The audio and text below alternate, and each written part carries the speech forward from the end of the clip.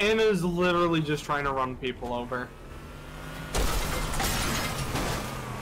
Uh, I hope.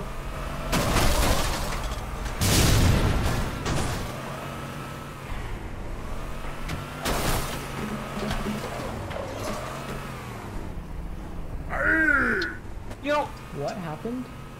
what do you mean what happened? I see Freeman's death marker off the map.